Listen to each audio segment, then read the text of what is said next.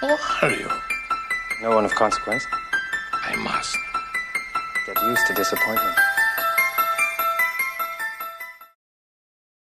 Hello, everyone. Welcome to Kill the Cast. My name is Jerry, and today I am sitting down with uh, one of my new favorite commentary people that I've ever listened to. A lot of you know I'm big on commentaries, and we recently did an episode for Horror Coliseum of Orca versus Alligator, and for that I listened to a commentary for Orca done by this great man who is one of the very few experts in eco horror, and I am lucky enough to sit down with him. His name is Lee Gambin.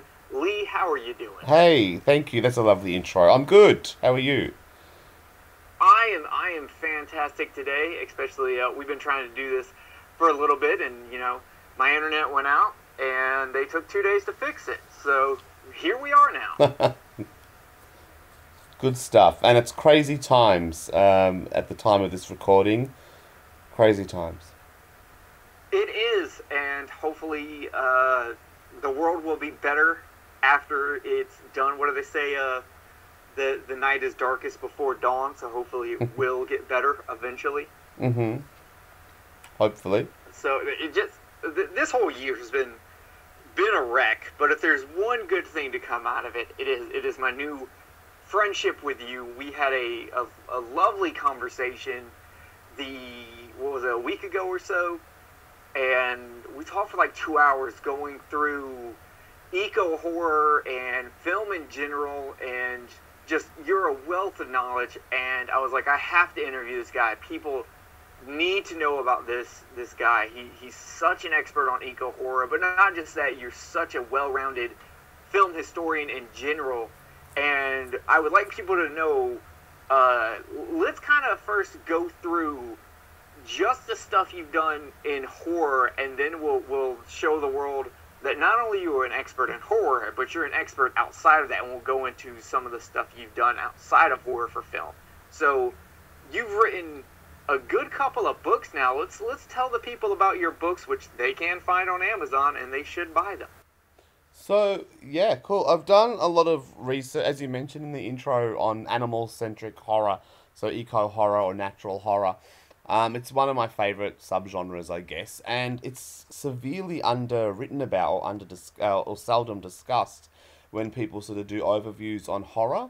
So it's kind of bizarre that it kind of gets ignored. I mean, we all talk about Jaws, and everyone knows the birds, but there's all there's hun- there's all these movies. There's so many of these movies that just sort of get neglected, and the eco horror thing sort of um, you know became very popular during the 70s when the environmentalist movement really started to sort of you know make itself known sort of outside of an as an extension of the anti-war movement um, women's liberation all the things that was happening during that sort of period. And environmentalism became something that was um, starting to sort of uh, seep into the public consciousness. So these films came out as a response to that. Not all the time but some of them most definitely did um, and so I just thought, oh God, this this is stuff that you know I ate up as a kid and as a teenager. So I really need to sort of focus a lot of my studies and my my scholarship on this kind of um, subgenre and this this realm of of horror cinema.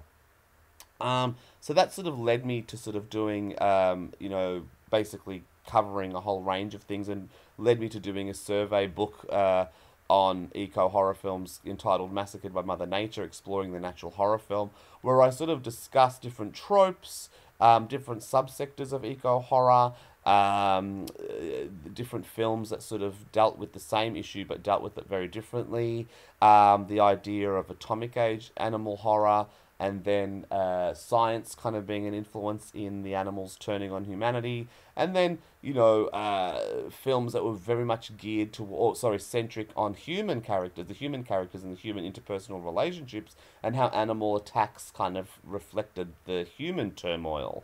Um, there's a lot of those. So anyway, it was sort of that sort of case study. Did some interviews here and there, um, and then you know when I was writing for Fangoria, I was always trying to sort of uh, pitch and put in as much eco horror coverage as I could, and then wrote essays on certain films that get neglected and under examined, and taking different angles from them. Um, then I was obviously, um, upon doing that, I was very heavily influenced and interested in dogs in cinema, uh, and then sort of uh, took the lead and did a massive monograph on Cujo, uh, which sort of became something that you know would start my work in doing a whole bunch of monographs, and I've done three now. I've done the Cujo book and a book on Christine and a book on the Howling. Um, so that's something that I've sort of you know tapped into, uh, where it's kind of a massive critical uh, you know academic assessment and analysis, but also an oral history where I interviewed as many people as I could from those three films, and then have them in massive chunks in in-depth interviews uh, integrated within the critical analysis and production history. So that's something else. But yeah, animal centric horror is something I've always loved, but I also love animals in film. So it doesn't sort of just stick to horror. Of course, we're discussing the horror stuff at the moment, but um, animals in movies have always appealed to me as a kid. I always grew up watching a lot of animal centric films, whether they be, you know, classic Hollywood stuff or weird sort of avant garde things or just characters who would have a dog or a cat or an animal alongside them and I would always sort of be attracted to that. I thought it was really sweet and there was like a nice relationship there. But with the eco horror, it's when animals turn, and I was always side as a kid, always siding with the animals to kill off the humans. Um, that's how I am. But yeah, it's really interesting to sort of tap into that and look at that. And then what also extends from that is really uh, my solid interest in animal trainers and wranglers, and people who worked with animals and finding the amazing um, uh, correlations between certain films. So a trainer will work on you know a multiple amount of movies and then have offshoots and um, uh, uh, assistants who will go off and do other things. Or even in the case of say Cujo, you have this generational thing where you have Carl Lewis Miller who worked on Cujo. Now his daughter, the lovely Teresa Ann Miller, is a major animal trainer, most mostly with dogs. Um, so it's really interesting to sort of go into that realm as well. And then also the whole idea of eco horror movies uh, in the way of marketing. That was a really fascinating point there as well. The way that a lot of studios really didn't want to sort of suggest that these movies were about animals and fear that uh, audiences um, uh, wouldn't go see them because they were kind of you know, considered maybe hokey. So they'd always just do the um, that sometimes they'd do these poster artwork that would not suggest animals. They'd be more subtle, and we could talk about that. But yeah, so basically, I don't know if I've answered your question, but the animal horror stuff was always appealing and still continues to be. And right at this moment, I've extended my research and stuff to the point where now I really do want to make a documentary about the ecological horror um, subgenre and going way back, you know, not just from the 70s, but beyond before that, um, with certain examples, um, and as well as um, diving into the subsectors that I've actually, I guess, coined um, or, you know, sort of in my research, sort of, you know, uh, discovered, I guess, that there are these these um, subsectors of ecological horror that I can go into as we talk, but but yeah, so that's that's my point at the moment with this sort of stuff because it's something that I've come in and out of. Uh, you know, there was a period where, you know, I wasn't doing anything, but you mentioned in the intro, the very kind, lovely intro you gave me about Orca, the commentary, and I've only done a few animal centric films uh, uh, as far as commentary gigs go. Um, so that's interesting. So it's sort of interesting to go back and go, oh shit, awesome! I get to talk about Orca, and I believe Orca was actually my first audio commentary for Umbrella. So that was really cool. That was really fun to do because it was nice to be able to give Orca, you know, the respect it deserves because it's such a beautiful, beautiful film, a poignant, lovely film. Um, that gets a little bit of a, I don't know, a bit of a uh, Jaws ripoff or Jaws clone thing going on for it, but I think it's beyond that. I think it's actually it shares more in common with something like Death Wish than Jaws, as far as I'm concerned. The revenge angle, etc. But it's such a perfect. It's a sweet, beautiful, lovely film. It's a gorgeous looking film, and the cast are great, and it's got lo- it's loaded with. Uh, archetypes that pop up in a lot of ecological horror films. Anyway, so I could talk on and on about Orca and, and all these movies, but that that's my general gist. So going in and out of eco horror stuff as I've sort of as my career, the trajectory of my career sort of progressed, the animal horror stuff has always been there as a backbone. Yeah, it, it, is a very understated genre. There's not as many people covering it. In fact, I was super excited when I was listening to the Orca commentary, and you had mentioned you'd done a, a book on eco horror, and I was like, well, I have to have that because there's not enough people that cover eco horror.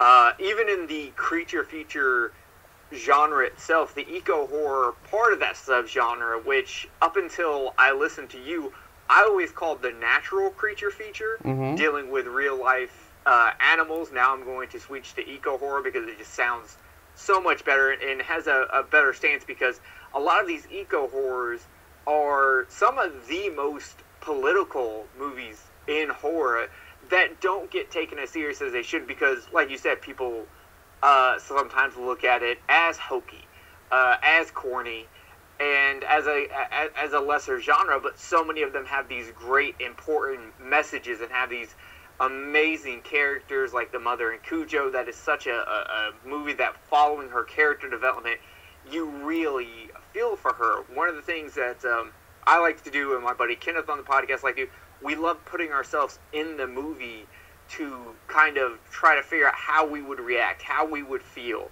And that's something that when you do in Cujo, it's just heartbreaking. It just hurts so much to do that because thinking about what you would go through in that it's not you're not fighting against some uh, good versus evil thing. You're you're literally just trapped in a hot car because a animal has con- contracted a disease and it is driven it mad and having to deal with that. Um, and Orca is is one that I've always maintained is one of my favorite movies in the eco horror. It is a top three film for me. And we said, I said multiple times on our episode when we did it, that you're, you're right. It is it is more like Death Wish, and that it is such a well-made movie. But it is absolutely not a Jaws ripoff. It may be a, a Jaws following trend in the instance that it's yes, there it's a eco horror creature feature that takes place with a, a sea animal. But that's basically where it drops from being anything like Jaws. It's such a different movie and such a beautiful one that I, I, it's a film I wish people would take more seriously. And one of the things you said that I really find interesting is you talking about the trainers. Um, two episodes ago, we did Adam Green's Frozen. Mm-hmm. And on the Blu-ray, there is a special feature on there where they actually talk about the the wolf trainers, and you get to see the behind the scenes where they're doing the acting and they're giving commands to the wolves, and the wolves switching from like this growling thing to bam, they say a command, and all of a sudden they're just the peaceful creature as ever. It, it's amazing. I would actually, I would absolutely love to know more about the process of them training them, how they go about it, all of that. Because I've got two cats and I can't train them to do anything. Right.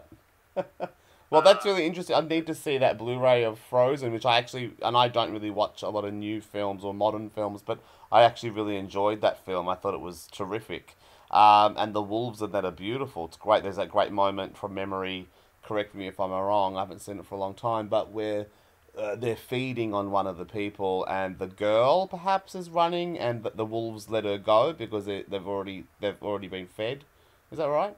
Correct. Yeah, that's Yes. a great moment. But it's interesting that I'd love to hear about the wolf training. So that I've got a story about that because wolves are really, really difficult to sort of train. They are like it's interesting. There's someone I think there was a meme going around where um, on social media or something where lions. Uh, it was actually from the California Wolf um, Research Research Research Center, who is a beautiful group um, in California that basically rehabilitate wolves and other wild um, animals such as you know coyotes and stuff.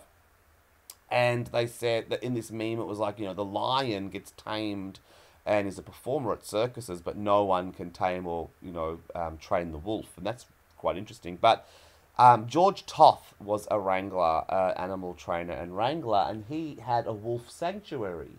Um, and a lot of the wolves were actually used in Day of the Animals, which is that wonderful William Girdler film from 77.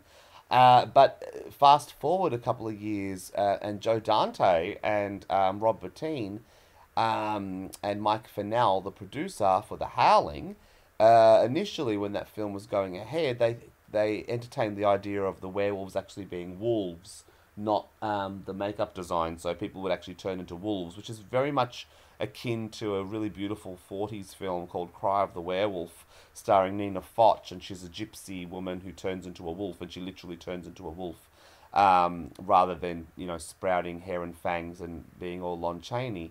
Um, and so George Toth uh, met up with Rob Bottin and Joe Dante and uh, Mike Finnell, and they went to this ranch, this wolf sanctuary, and what ultimately said, what ultimately changed their mind was the fact that these wolves, you know, leapt up on them, bared fangs, and basically freaked them out. And they were like, okay, we're not doing it. But then also they, you know, the idea of the werewolves and the howling were meant to be modelled on the wood carvings to make them look like, you know, human-esque wolves.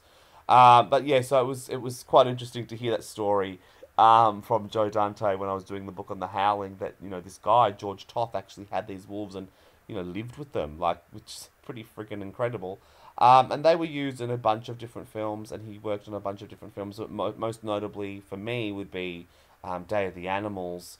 So yeah, it's interesting. But you know, obviously, dogs are the descendants of wolves, and you know they're trained so beautifully. You mentioned cats, and that's interesting. They're uh, Teresa Ann Miller actually trained the cat in Cat's Eye, and she explained to me um, how they got the cat to work. And cats ultimately work for food. Um, Otherwise, like dogs will work for praise and hugs and kisses and playing and toys and food, but cats are like, nah, just open that can for me, human. Um, so she was training the cat for, for food and stuff, and also with whistles and stuff like that. So that was really fascinating to hear that, that the way that different animals work. Um, and that cats will just do their own thing, and it's just a matter of being patient and waiting.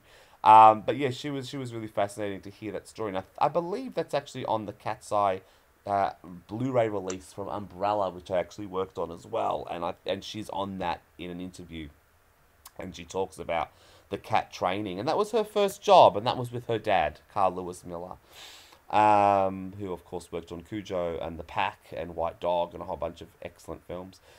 But yeah, the training Yeah, stuff's really after- interesting. I was gonna say after our conversation the other day, I actually went and I watched The Pack again because I'd probably not seen it since I was a kid, and that movie is so beautifully done, um, and it sets a mood by starting off with a a scene of the fa- of a family tying up a dog and leaving a dog on the island, which is later explained by the characters that a lot of these families do that. And it's so heartbreaking that when the dogs actually do start attacking humans, as good as some of these humans are, and you want to be on their side, you're just like, no, these dogs are, are being mistreated and abused and left. I can't really blame them. And that's something in eco horror that it does so well is it really does a lot of times make you side with the animals. It's not like a slasher where you side with the the killer just because oh it's fun. There there's such a sadness to a creature feature when it comes to eco horror. You always want to take the side of that dog or that cat. Maybe not the. I don't know how many people are going to side with the cat after watching the Uncanny. They're just going to Alex Jones more conspiracy about cats trying to rule the world. but still, it, it, it's that movie. I, I rewatched it, and by the end of it, I was like, that was amazing. But I'm I'm so sad. Damn Lee for making me feel this. Well, so the pack, as far as I'm concerned, is you know one of the best examples of revenge-fueled eco horror, where you will um, side with the animals. So revenge-fueled eco horror is when the animal in question or animals in question have been wronged.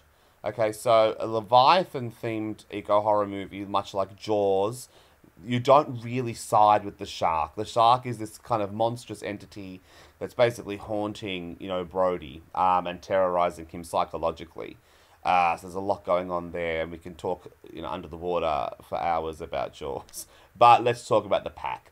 Um, so the pack, yes, definitely pits animal against human, and as you say, within the human pack, there are absolutely wonderful people, like especially, for instance, Hope Alexander Willis. Like you know, she's a, a, a lovely character. There's nothing you know. Um, uh, unlikable about her. She's wonderful. Um, even the Bibi Besch character. Uh, but what happens is you side with the dogs because they absolutely, as you said, have been mistreated. They're neglected. So what the pack says is, you know, you uh, ignore nature, you abuse it, it will bite you, um, and it will come back to destroy you. The film does set itself up with that beautiful, very poignant, sad moment where the you know the family abandon this dog, and this dog goes on this journey. So as this sort of you know carnage is happening, you see this dog, um, you know, having to sort of uh, join this pack um, of these wild dogs, these feral dogs on Seal Island, um, led by the the major yellow dog, whose name was Joshua, the dog himself, who played that role. Um, by the way, uh, and what happens at the end is this moment of hope where human and animal can actually reconnect, and that great final image where Joe Don Baker you know, earns the dog's trust and he starts licking his hand. Just a beautiful image there, sort of sort of captures the idea that there is hope and that you know man and dog's um, relationship can actually come back, um, you know, in a, a form of basically the balance again, so the balance in nature can actually be restored. But what I really love about the pack is that that the dogs and the humans kind of are these two uh, uh, armies, these two, uh, you know, uh, basically they're pitted against each other and they also reflect one another. And within the um, human realm of this film, of the pack, you have a, man, a single man and a single woman who've fallen in love with their own their own sons. So it's kind of like they've formed their own community, their own, they've forged their own pack. And then within that, you have the other family who are all these kind of you know, uh, misfit groups as well. Um, and then the sort of autistic son who is trying to be set up with the, the sex pot character, um, who's quite. Yeah, that was weird. Mm. I'm not gonna lie, that that was a little weird. Where I was just like, your dad basically told this girl to bang you no matter what. yeah. And it's a weird. It's it's a very weird self. It works because it it kind of shows how a rich, powerful man who only comes to this country area as a relax, I'm gonna fish thing, while you have him compared to the people that live there that are like, oh, these people don't take it seriously. They do. They come here and they trash it and they leave, you know. And he's over here, you know, using what I assume is his, his money and power in the company to get his son laid, and his son wants absolutely nothing to do with it. He's mm. so tired of his dad controlling him and trying to do all these things for him. And he's more concerned about what's going on with these dogs. He's more concerned about his safety mm. than any of that. It's very, it's, it's a very interesting angle that's in this movie. Mm. It really is, and also I love the way Robert Clouse shoots the um, attack sequences. So you'll have these great slow mo motions where that, that character we're talking about is running through the forest and he's clumsy and he's overweight and he is presented as something that is not equipped.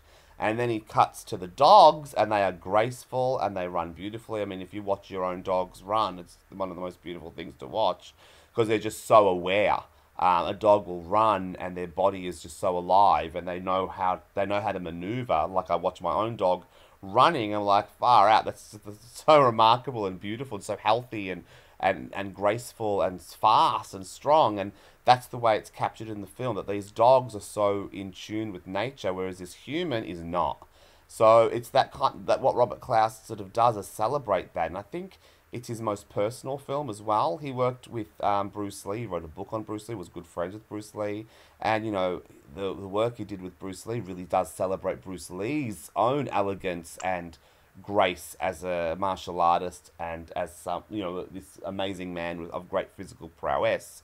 And I think that's captured here in the pack as well. You get to see the athleticism and, and brilliance of dogs um, in comparison to humans who, if they are attacked by dogs, are pretty fucked. Like, honestly, like, you know, this is a pack of dogs who will just rip your throat out because they're hungry. And that's essentially what it's about as well, this whole idea of survival. And there's some fantastic imagery where, like, at the end, where Joe Don Baker is grabbing that mattress frame and, like, pushing it to the Joshua dog, um, and it looks like he's being trapped, which is really beautiful imagery, which kind of reflects, you know, um, Rod Taylor in the birds being imprisoned by the birds. So these animals have now caged the human. Uh, just really cool stuff like that. Um, the beautiful score in the pack. Uh, it's got this really graphic, um, you know, ugliness to it as well. Um, you know, the old man being slaughtered. Also, the idea of the dogs who are actually sided with the humans who aren't feral. Um, you know, John Do- Joe Don Baker's dog and I, and the old man's dog, Jar. You know, they're still uh, um, socialized to be with the people, with the human pack. So that kind of the politics there is really interesting. That they, you know, they're not siding with the the, the feral dogs. So I really enjoy. I think the pack is just a remarkable example of revenge fueled horror films, and also such a good fable, a good, um, you know, um, a cautionary tale of not um, being an asshole to animals um, and respecting animals because this can happen. And I think it's one of the films that is very much treated seriously by audiences.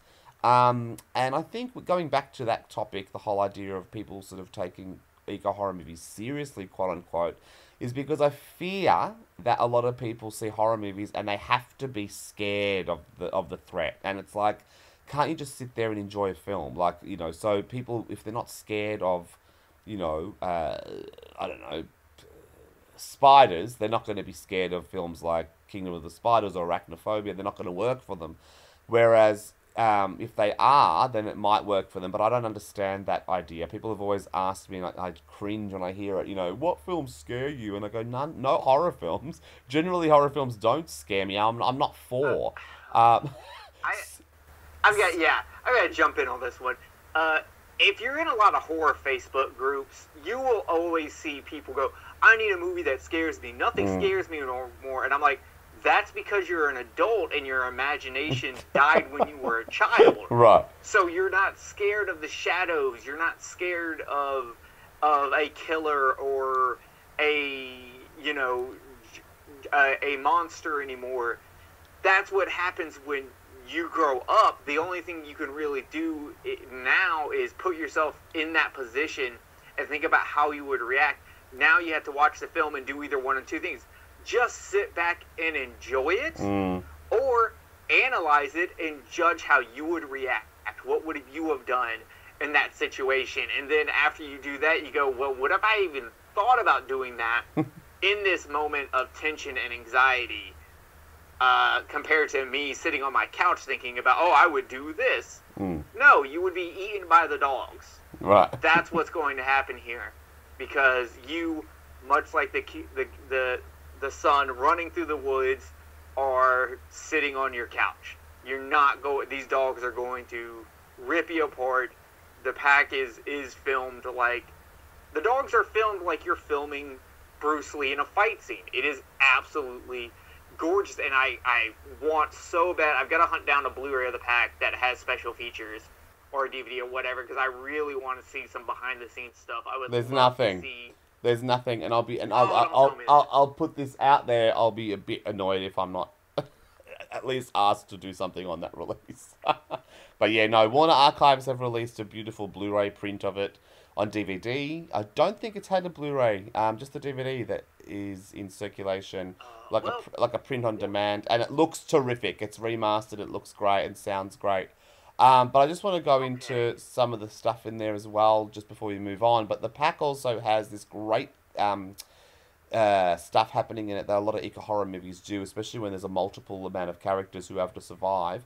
And what happens is is that cabin fever moment where they all turn on each other. When Bibi Besch starts screaming at Joe Don Baker, it's chilling.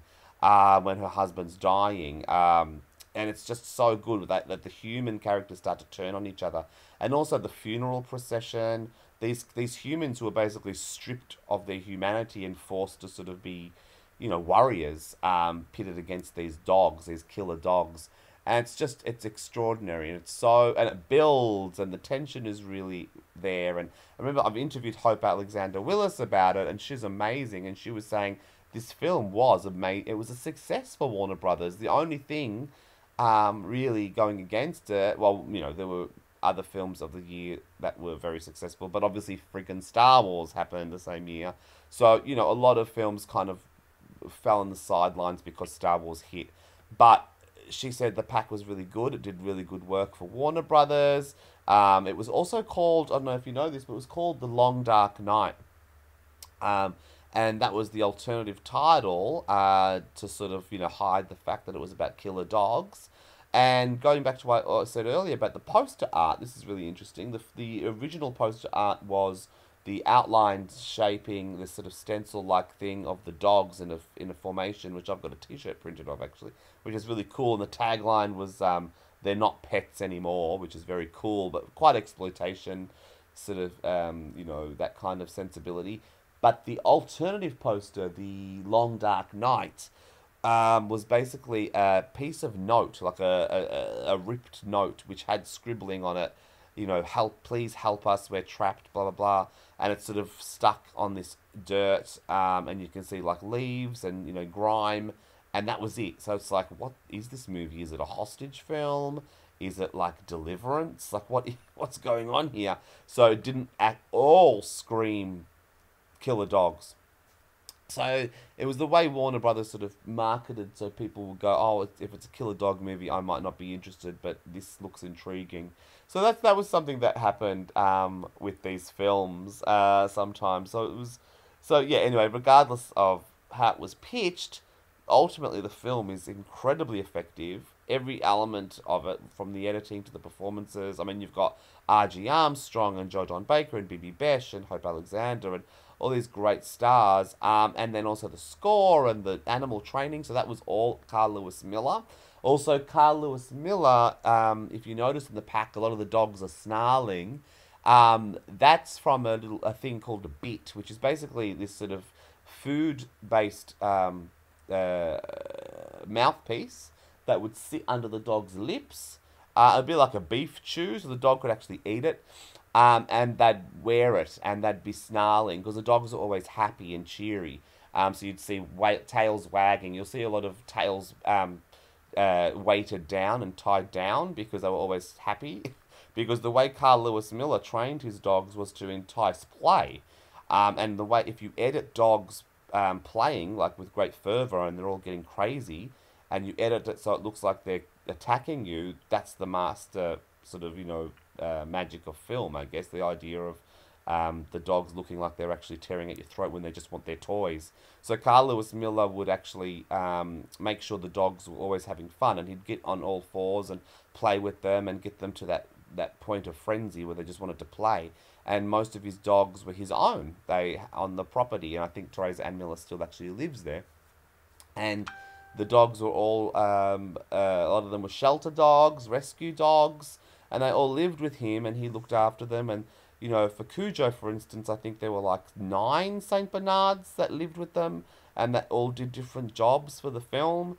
Um, so in the pack there were all these different dogs that he trained and worked with. And his career is really interesting. He started um, as a security uh, guard um, for an airport and he used to get bored doing it. And he goes you know what would make my nights better? If I had a dog a security dog and so they gave him one, the airport gave him one, and it was a German Shepherd, and he trained him and started to get him to do tricks. And he thought, this is, I've got a natural knack for this. So he started to do films. Um, and he worked with all different kinds of dogs, all breeds. Um, one of the dogs was Scruffy from uh, Mrs. Miniver, the Ghost of Mrs. Miniver, uh, little terrier. So you know all these different dog breeds, and then, then he's you know he was good friends with people like Frank and Juanita, uh, Juanita, Juanita Inn, who did Benji stuff with Higgins, the dog, and Benjean, his daughter. So all this kind of community of dog training was there. And the pack kind of really sort of, you know, celebrates that. And I think it's a really strong, positive um, representation of dogs in film as well, because it sort of says dogs deserve respect. Uh, I, re- I, I really I enjoy that. The other film that I love from the year before would be Dogs, um, which is a fantastic film, um, which is actually about uh, dogs packing up because of uh, secret government experiment involving pheromones. And you know, it's all these different breeds of dogs, and they terrorize a university campus, and it's fabulous, wonderful film as well. And it's got this gorgeous lighting, color, you know, Southern California looking beautiful and sun-kissed orange hues, and just these dogs going crazy, and all breeds. It's always really nice to see like a big English sheepdog with a Doberman and a little terrier and a um, Dalmatian, and you know all these breeds just packing together and fucking fucking up humans. Really good fun. Yeah, I so I gotta ask it. Watch the pack with your dog. yeah. Do you worry a little bit? Do you look at him and just go, "I will always treat you nice. Don't you worry." Well, it's interesting. Like, to, well, I mean, dogs um pick up sounds and stuff. Mine loves movies, and he'll actually pick up sounds on dog barking, and he can pick up. He can actually distinguish between real dog barking and foley, like human doing voices. So if you watch Cujo, there's a lot of um, Frank Welker barking doing his work. Um, and then there's a lot of actual real dogs. Um, the sound people, you know, got a lot of real samples. And my dog Buddy can actually distinguish it. Like you see him prick his ears up when it's a real dog, but if it's Frank Welker, he knows and he ignores it. um, with the pack, it's the same thing, so he can sense the sound. Um, and uh, it's interesting. He he'll be able to. He, he can pick up images of dogs running and stuff.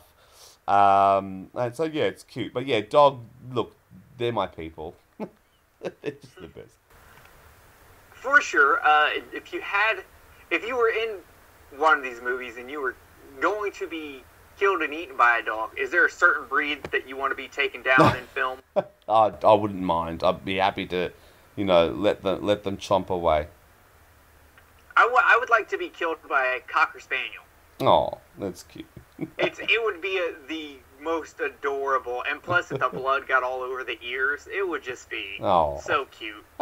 People would be rooting for that cocker spaniel to eat me, and I'd be okay with it. Have you ever seen Oh. the, the the Ghana poster for Cujo? No. Oh, look it up, and then you'll see a cocker spaniel. So it's this.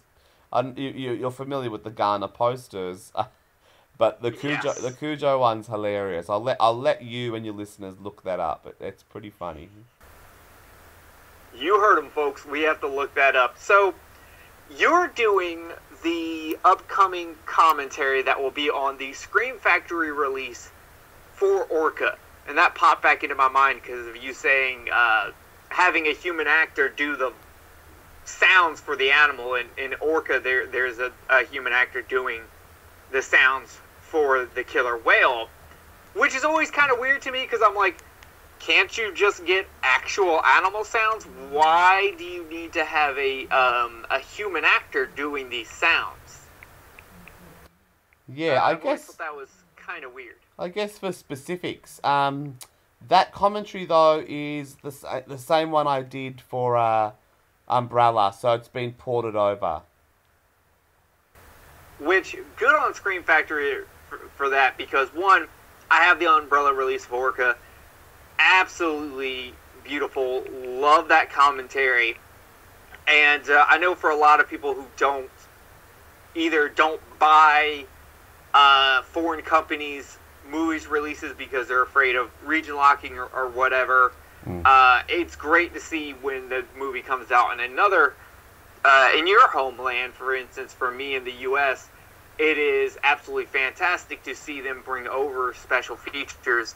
And I'm super stoked that your commentary is going to be on the Scream Factory, mostly because I want more people to hear your your comment. It's so good, and I'm so proud of Scream Factory for hooking up the people, especially for all these people with Scream Factory love because I know a lot of people that are super into Scream Factory. Mm. Um, and I, I Orca is, is a movie that I definitely feel needs more love. So good on Scream Factory for getting uh, w- the man who should be doing every eco horror commentary track. Oh, thank you. Honestly, I, sorry, go on. go ahead. Oh, um, I, I've I was just gonna praise you more. Thank you. That's much appreciated. I really love doing the Orca commentary um, for a number of reasons. Um, also, one of the reasons is I have Maltese heritage, and um, the last act of Malta of Orca is shot in Malta. Um, so it was really nice to actually talk about Malta, something I've never done really uh, in my in my life, like really sort of talked about being Maltese. But uh, it was really cool to sort of riff on Malta as a place of um, uh, you know filmmaking, where lots of films have been shot there. Uh, most notably, the main one that gets talked about a lot is Altman's um, Robert Altman's uh, musical adaptation of Popeye, with Robin Williams and Shelley Duvall, which you know was a notoriously, you know, um, plagued by a lot of issues production. Um, uh, but the Popeye Village actually still is in existence on Mal- in Malta. Um, so that's pretty cool. So it was nice to riff on Malta and Malta's history with film, um, with American cinema, and also just to talk about everything to do with Orca. Um, there's just there's you know you can't sort of praise it enough. It is much like the Pack, one of my favorites. Um, and it is something that really does set up archetypal roles um, that really do pop up a lot in a lot of eco horror movies, especially eco horror films of the 70s. So I'll talk you through some of them. So one would be the Richard Harris character, which is the sort of haunted uh, rogue loner type, um, who's usually haunted by past trauma or a past experience and is pitted against this animal um, or animals. Um, then you have the sympathetic, what I call the sympathetic specialist um, archetype, who is uh, usually most most notably a woman um, who is a scholar or an expert in the animal in question um, and has compassion and sympathy for the animal. Uh, and then you have the sort of archetype of the sort of mystic um, uh, Native American Indian or indigenous person. They sometimes pop up in these films. Uh, you have sort of the quote unquote innocent victim or the bystander victim, and Bo Derek sort of represents that in this film. Um, and you know, so there's all this sort of stuff going on there. As far as it's sort of likened to Jaws, one of my main um, reasonings as to why it would be considered a Jaws uh, clone or sort of taking or borrowing from Jaws, um, like you said earlier, obviously it's a sea based creature, etc. But ultimately, it does have the Ibsen enemy of the people element running through it, which Jaws essentially, you know, has as well as its lifeblood, where the townsfolk are all affected by um, Richard Harris's mistake, um, because the whale, the orca, has you know destroyed the electricity and set fires, and the fish are all sort of you know disappearing, so there's no fishing community. So the whole idea of the Ibsen story of enemy of the people is interplayed in um, Orca, which is in Jaws as well. But um, also the final act, you know, sort of setting out to take on the whale. But yeah, it's a remarkably important, beautiful um, film and a perfect um, entry in the eco horror world. And it's possibly my favorite of the sort of um, oceanic um, eco horrors. Uh, and it sort of uses you know, locales beautifully, you know, because, uh, you know, the idea of the whale actually destroying land, that's incredible, you know, because with oceanic animals, they're kind of, you know, in the ocean, so you have to venture to them in order to be, you know, damaged. But this whale, with his incredible intelligence, manages to fuck up, you know, people happily living in their, you know, comfortable homes. So I think that's really interesting. It's a really interesting take. And that script um, went through different drafts, and one of the writers on it was Robert Towne, uh, you know, who worked on a whole bunch of stuff. But yeah, it's, it's a it's a really sharp script and also really moving.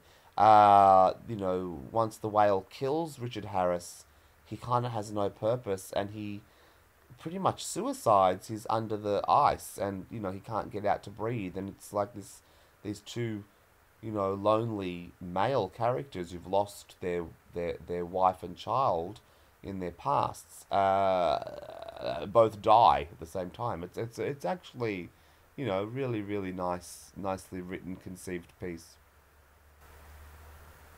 It is. I I adore this movie. It it's I it, it hits you with a gut punch early on, and then it ends on this beautiful sad note. Uh, the music in the movie is Yeah. fantastic. gonna say, oh man, it's good. Yeah.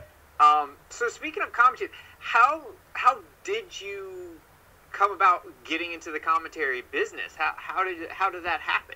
Yeah, um, it comes from just constantly working and writing. So my, so I'll just sort of give you a very quick nutshell backtrack.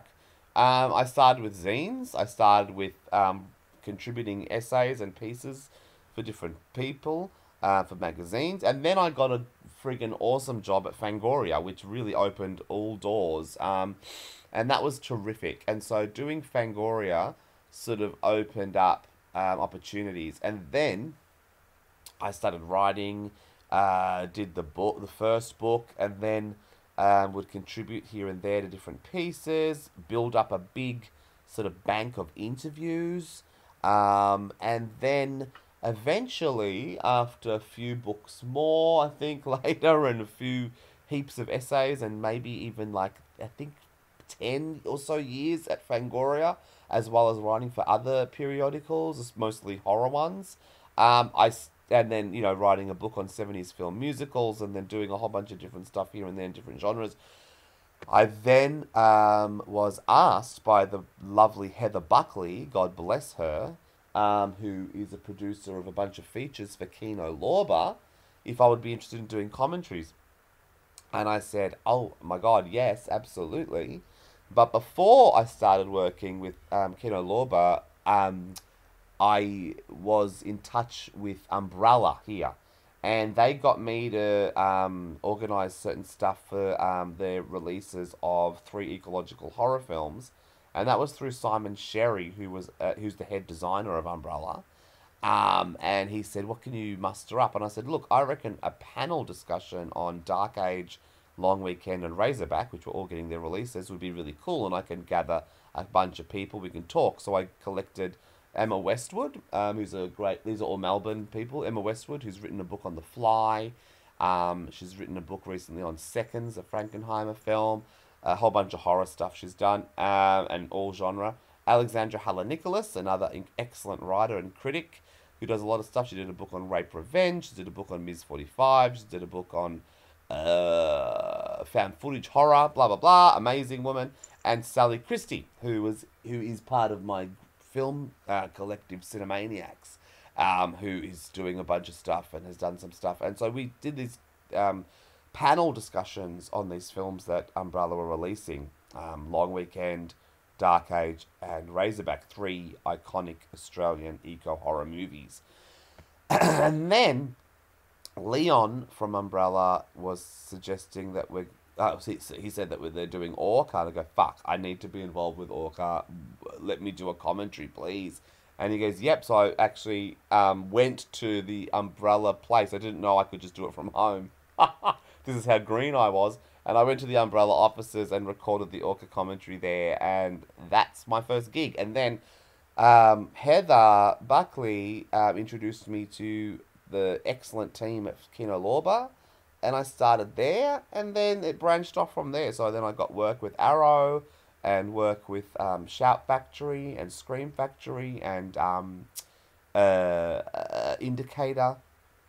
And yeah, it's just been ongoing and it's just the best. I bloody love it. And, uh, you know, just recently did a job for Sony Columbia, which was really awesome. And yeah, so it's just sort of building from there. So I've done quite a fair few now, like, and it's just the best. I'm really appreciative of the gigs and I, I love the work and it's all genres that I'm doing in all eras. So it's, you know, I'll be going from the 30s you know, um, gangster picture to, you know, uh, made for TV movie from the 70s to like a, you know, uh, eco horror film to a musical to a western. And it's just, it's brilliant. I love it because I love all films.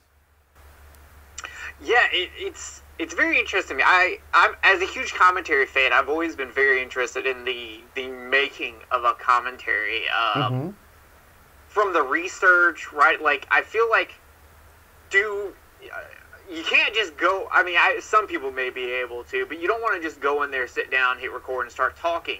Like you need to have notes. You need to have it paced out. You need to have that outline for when it happens during the movie, like almost timed out. Uh, when when you do your commentaries, are they done in one take? Are you so well prepared you do it in one take, or is it a multiple take and then edited together kind of thing?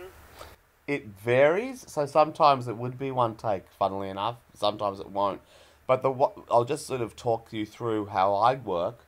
Um, I do a lot of the research, obviously, um, and then I do um, uh, scene by scene outline. So I'll be watching the movie over and over again, and then I'll do a scene by scene breakdown, and then chuck in all my notes, pack in all my notes in each scene. But then not feel trapped by the scene itself. So, for instance, if a scene happens and it's gone, but I want to refer back to it, I'm going to just reference it again because there's, you know, one scene could really dictate you doing, you know, two pages of content. So you you got to have to let it go and just jump back. Secondly, I always, always, always, always want to um, have a nice marriage, a nice combination of critical analysis as well as production history.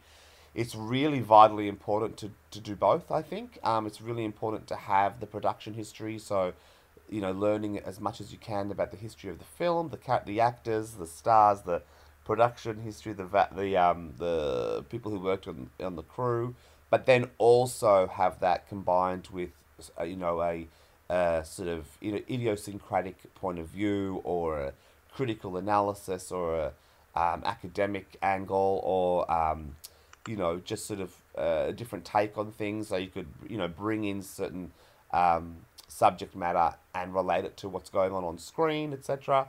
But then to have that combo. Also, if you're doing a film that's kind of you know from the seventies onwards, chances are people who worked on it are alive. So I tend to sort of branch out and try and reach people. Um, I remember when I did Night of the Lepus, no one from that movie ultimately is alive, except I found this wonderful man named Jack N. Young, who was actually the location manager on that film. But he um, was a stuntman for years in heaps of westerns, and he and I stayed friends until his death um, a few years ago. And he would send me photos galore of him with Lee Marvin, of him with John Wayne, of him with Olivia de Havilland on the locations of things. I'm like, oh my god, this is just film history. This guy needs to do a fucking book. But he was a location manager on uh, William Claxton, um, Night of the Lepus, the Killer Rabbit movie. And he told me stories about that and about the rabbits and about, you know, uh, what the rabbits got up to. So I got to share that in the commentary and it felt really nice to do that because it was giving a voice to people who worked on the film. Um, so I'm, I'm a big champion of reaching out to people who worked on the film. I really, really am. I think it's really important. Um, and also, yeah, obviously just doing the research and finding different angles. Um, so, you know, and also I love, and a lot of people probably don't love it, but I like it. Um, uh, doing sort of, um, um, uh, I guess finding connections to other films and sort of bringing it all to the together. So, like, say for instance, I did a commentary on, um, uh, you know, the reincarnation of Peter Proud. So I discussed reincarnation in cinema, and so I brought up things like, you know, uh, everything from the Mummy, um, the Karloff film, all the way through to the Vincent Minnelli musical with Barbra Streisand on a clear you can see forever, to um, the Benji reincarnation movie, Oh Heavenly Dog. So like you know, bringing all that in there, so it was like you know, here's a little a little sub sidebar on reincarnation in movies. Uh, when I did Orca, I was did talk about whales in film um, from memory. Um, you know, uh, whether it was Moby Dick or you know whatever it was. So it's nice to have that kind of thing as well. So you want to sort of pack it in with as much as you can, um, and then talk about you know genre stuff and yeah, I don't know. It's just it's it's it's a really it's amazing, and I sit with the film for say two to three weeks and just sort of work through it and then write my notes and then go for it. Um, and then sometimes I script it and sometimes I don't. Mostly I do big bullet points with chunks and slabs of my writing. Um, and then I riff. Um, and it's sort of a matter of just sort of staying on, on target and not running off on too many tangents. And sometimes I'm guilty of that. But you know, that that's Wait. what happens. Anyone who does anything like podcasting or commentary, we all know the pitfall of tangents. Yeah. That that gets us all. But you are right. I love um, learning a connection from a film to another. I was listening to the commentary for Pumpkinhead, Uh huh. and uh, there's a dog in Pumpkinhead, and they actually talk about, oh, this dog. Some of you might recognize him. It's the same dog that's in Gremlins. Oh. And I was just like, holy shit, really? That is amazing. Um, and I'm a big fan of commentaries in general, and you kind of hit of all hit pretty much everything I'm looking for in a commentary. I want to know production stuff uh, from before it was made, how it got made, how it was on the set, behind the scenes stuff like that. Um, I do like l- learning uh, a history of the people involved. Though sometimes I feel like uh, they commentaries go a little too far with that.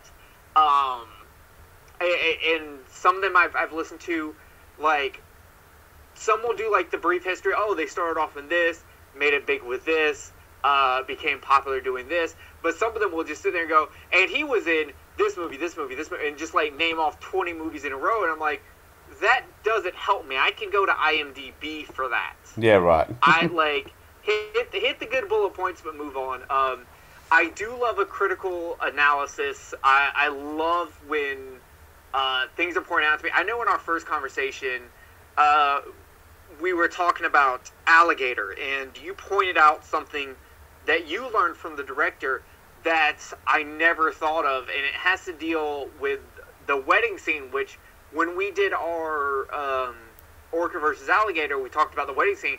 We all kind of was like, the wedding scene feels a little uh, shoved in there.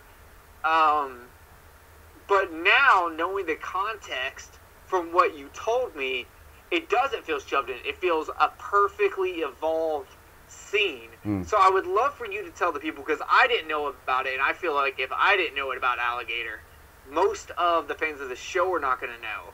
So can you tell me about um, what you learned from the director about that scene and about uh, th- this kind of secret meaning behind Alligator? So not so much the director. That was the excellent Lewis Teague, who is terrific and incredibly smart. But this is going to this is the credit would be to um, the the writer John Sayles. So allig- alligator that's okay. Alligator um, is a response to crisis. So and class. It's a full on film about um, class resentment and class struggle and the class system. So the reason why it escalates to the wedding is that's when people start to pay attention. So basically, you've got this mutation, this mutated alligator, whose first victims, who starts off, you know, sort of attacking people from the ghetto, then it moves to the working classes, then the middle class, and then finally the wealthy. And that's when people start to react and realize, oh, fuck, this is real. So, what John Sayles, um, who is a genius, one of the best writers ever, um, is saying is that the world, um, the American class system, does not respond to crisis unless it attacks the rich. So this comes out in 1980. The AIDS crisis is happening, sort of starting to birth at the same time. And it's a really cool, palpable commentary on that because what happens with the AIDS crisis, and Ronald Reagan also, by the way, comes into power at that period as well, around that time in 81, I believe. So what happens is um, the AIDS crisis happens. Um, you know, gay men are getting it, people who are intravenous drug users, sex workers are getting it, you know, and, you know, uh, a lot of the sort of ghetto people, dwellers and people in low socio-economic uh, economic sort of subsectors are getting it. And no one's kind of caring. No, people are like, oh, it doesn't matter. And then finally, you know, wealthy, white, straight men probably start to get it. And people start to react and think, oh, fuck, is this actually real? Is it? This is a real disease? Shock horror? You know, it's this whole thing where people kind of have that um, you know, conservatives sort of tr- trying to keep things under the carpet, sweep things under the carpet. And John Sayles comments on that sort of aspect in his excellent, biting, sharp, socially aware commentary in the script for Alligator. So the alligator, to escalate its destruction, its path of destruction to the the fuckers who actually caused him to be a mutation, is a really, really smart political statement. And Sayles is one of those master writers who injects all of his scripts, be they horror or not, with social commentary. If you look at Piranha, which he also wrote, that's got a really nice response to the way the media handled, you know, crisis such as the Vietnam War. Um, it's got a whole bunch of stuff about secret government agents, agencies. Um, you look at The Howling, another script um, penned by John Sayles, as well as Terence H. Terence H. Winkless as well. But um, John Sayles injects it with this whole idea of you know being scared and not trusting um, institutions, the role of the media again, um, the power of perception, um, the power of misperception, and also um, the Estian thing, the whole thing about you know self awareness and self help, and how that's something that you know is actually quite fucked and you know leads people to becoming werewolves and celebrating this bestial state which is actually destructive and violent but yeah really really smart writer and alligator is one of those really really socially aware political eco horror movies and as you said earlier eco horror films are absolutely political so many of them are and alligator's definitely one of them and that also once again you know uh, john sayles plots it with great archetypes. You know, Robert Forster's character, uh, Robin Riker, once again, another sympathetic specialist. Um, and I love that he gives her a backstory as a little girl who um, has a little alligator that the father flushes down the toilet, who ends up being the, the killer. But really smart stuff and funny. Like, it's got really cool, funny moments. Um, so, yeah. But, yeah, absolutely. There's this whole class uh, uh, breakdown in that film, and it's so good. It's so well written, and I would love to see deleted scenes from it actually um, that are around. Um, Lewis Teague again, great director. Alligator would lead him to take on Cujo. Uh, we all know the story because Stephen King loved Alligator and thought he'd be a good director for it, and Peter Medak had just been let go from the project of Cujo, so Teague came in and stepped in and did wonders with that as well. So yeah, really, really cool stuff. There's a really amazing period there in that in that world of, um, you know, horror movies, the late seventies, early eighties, where things were just, you know, smarter than what people thought. You know, and I think rewatching them for the unenlightened, like if people don't care about these movies, rewatch watch them, and you'll see this real intelligence.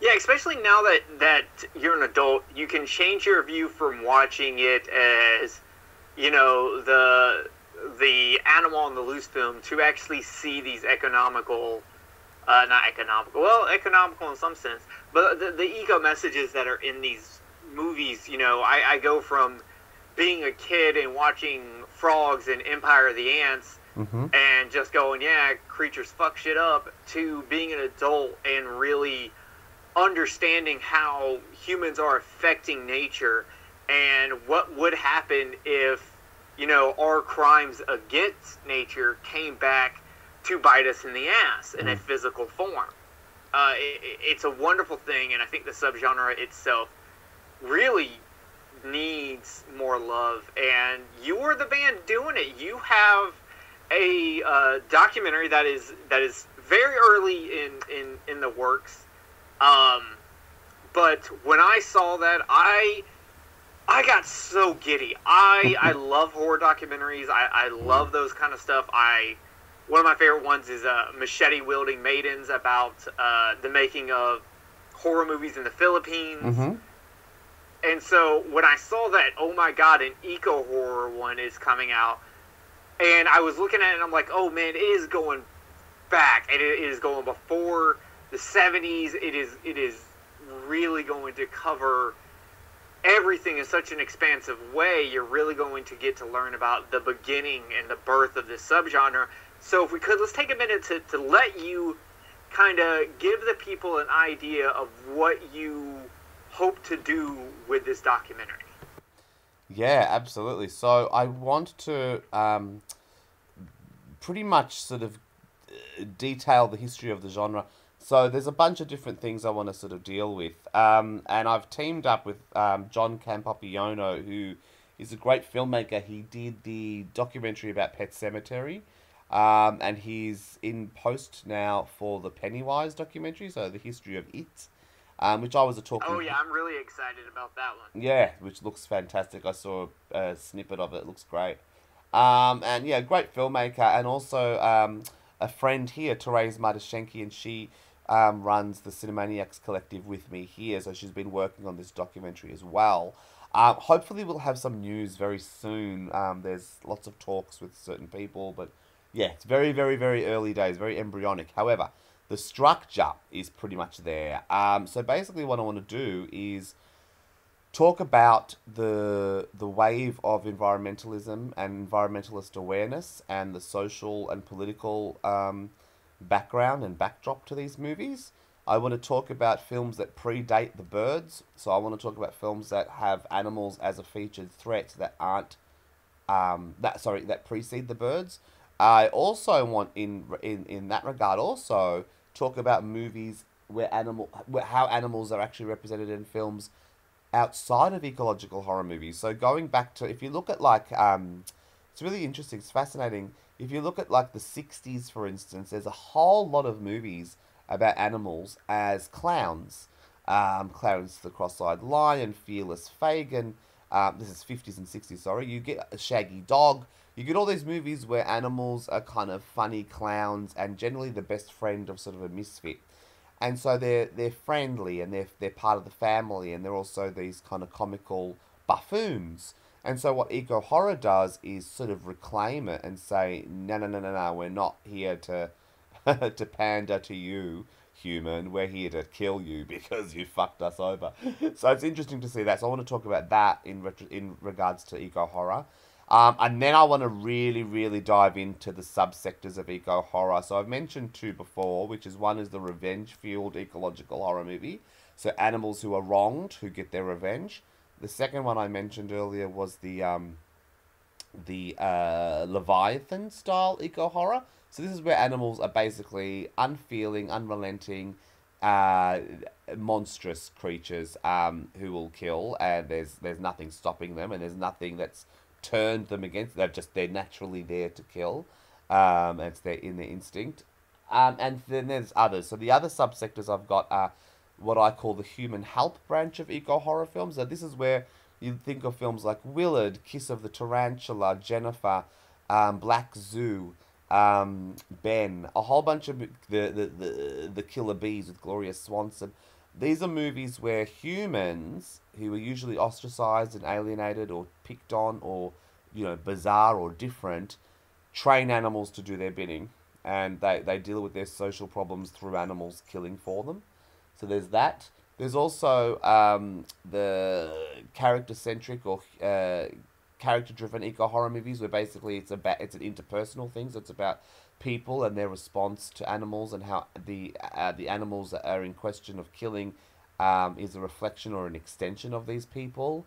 Um, for instance, if you think of something like the birds, when Tippi Hedren enters Bodega Bay, birds start to attack. So there's kind of um, sublimin this sort of you know subliminal um, uh, subtext going on where she's brought in this this chaos, and generally that's another trope as well. There's usually an outsider who comes into the environment and upsets the natural order. That even happens in Frogs. Sam Elliott's character comes in to this family and things start to erupt and things start to emerge and it's kind of like a liberation for the animals. Uh, and then there's the um, the the one that's probably the most dominant and popular, and that would be the science influence eco horror, because that dates back to things like the fifties, where you got things like Tarantula and Beginning of the End, where the giant bug movies sort of exploded, all the way through to the seventies stuff, where you th- think of things like Kingdom of the Spiders and and um, Night of the Lepus, and you mentioned Empire of the Ants and stuff, where you know pollutants and um, you know. Uh, nuclear energy, etc., and radiation uh, make turn transform animals from a natural state to you know something mutant and monstrous. So there's a whole different sub. There's all those subsectors. I do want to do a sidebar on trainers, um, and also animal stars. Certain animals that actually had careers outside of the one film they did, um, uh, and then um, I do want to talk about the stock characters that I mentioned because that's a major deal. Um, and then I also want to, of course, and we've already got like 20 people confirmed, to have interviews. So, interviews with um, cast and crew. Ultimately, it would be fantastic to have, say, um, one person for representing, say, about 30 of the movies. So, that would be fantastic. And if there's doubles, that's fine, awesome. We'll see how that goes. but yeah, we've got a whole bunch of people lined up, and like I said, I've been working in this field forever, so I've built um, connections and friendships. You know, I'm you know very close to people like Dee Wallace and stuff like that. So it's this whole thing where these people, you know, are so beautiful and so loving and so loyal and so generous with time and and their words and their energy that they'll do this stuff, and it's just fucking awesome. So. Getting interviews, not only just um, people who worked in the films, but scholars, and just to have a documentary that's swift and strong and dynamic with lots of clips, lots of stills, lots of production history stuff, lots of critical analysis stuff to have that nice marriage and to treat it seriously so it's not a fluffy one and it's, you know, engaging and entertaining and fun, but also, you know, deep. Um, so yeah, uh, and you know we've looked at a lot of uh, sorry uh, a lot of horror documentary and film documentaries, and I'm like you, I'm a big fan. I eat them up, and there's been a few that have been kind of models for me, like you know showing Therese and John saying this is what I reckon this would look like and feel like. I just think that would be you know that's a great way to approach a documentary. So it's very early embryonic days, but it's it's going to get there. I'm determined. Yeah, and like I said, I cannot wait for it. I love this stuff. I eat this stuff up. I'm so glad that there is someone spearheading uh, one of the just a, a genre that's so close to my heart, yet is so hard to really find good information on. mm-hmm. So compared to a lot of other, like you can find a million things on slashers. You can find a million things on like the Universal uh, monsters, which I, I, I do love. Um, but there's not a, there's not enough when it comes to eco horror. It, when you're talking about the the pre '70s stuff, uh, I can't think of the movie off my head. You might come up with it. Um, there's a scene. It's a black and white movie. Pro- I want to say it's from the 40s. Um, it might have been, been a Lewton film where um, there's a mother and she's like cooking, and uh, on the news that's playing, she kind of hears something about like I think it was a panther that escaped. Yeah, the leopard something man. the leopard man, yeah, and the daughter runs to the door and she's banging on, "Let me in, let me in," Mhm. and the mother's kind of like, "Oh, whatever," and then when she starts screaming, the mother's like, "Oh, I, I'll help you, baby, I'll help you, baby," and by the time she gets to the door, she hears this thud and then blood come under the door, and it to me is one of the one of the greatest scenes in horror. Mm. Um, and Stunning film, oh, yeah. So did- that so that's the, the Leopard Man, and that um, has just had a beautiful release on Blu-ray, and I think um, uh, William Friedkin actually is, does one of the commentaries on it because he really, you know, is a big fan of that film. Oh wow, yeah, I'm gonna I'm gonna look that. up. do you know what company put it out? I've got it right next to me. Hang on.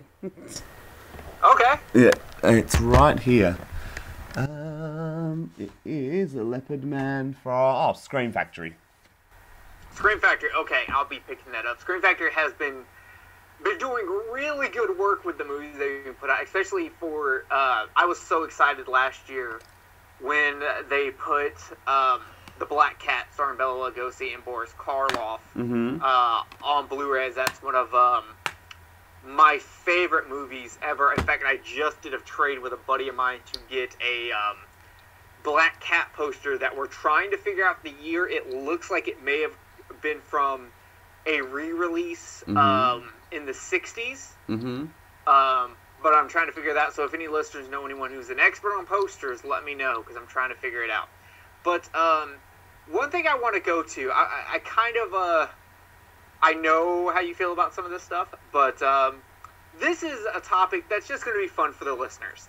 Uh, so as we moved into the 90s and early 2000s, uh, the creature feature eco horror got kind of a small boom again with the straight to DVD market. You had things like Python and Boa and Komodo and Shark Attack and you know just on and on and on. And, and I grew up on these movies because I would go and rent them all. I didn't care how bad they were. I didn't care how stupid they looked. uh, if it, if it had a, a snake on it or a lizard or a shark, I would buy it. I remember that one of the first uh, two DVDs I owned. One was an anime called Akira, which is amazing. The other one was a movie called Shark Hunter, which is about a, a guy that um, uh, there's a megalodon. Tr- it basically just rips off Steve Alten's Meg, uh, the novel, not the movie.